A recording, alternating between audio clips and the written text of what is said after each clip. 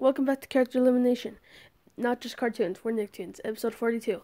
Since the since the boy genius is lost, let's go to the elimination center where Ruby from Max and Ruby will hand out the prizes.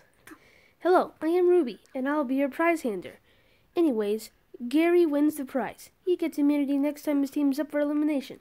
Now for the elimination votes. Jimmy Neutron had immunity, so he is safe. Jimmy Neutron and Gary are safe with zero votes. Sheen is safe, even at one vote. And Ginger is eliminated with four votes. Oh no, I thought I could win, but I guess not. Well, good luck to all of you.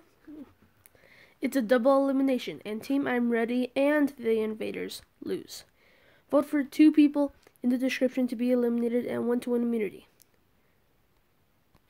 So basically, yeah, one to win immunity from each team. So vote for one person from Team I'm Ready and one person from the Invaders to be eliminated, and vote for one person from each team to win the prize as well. Everyone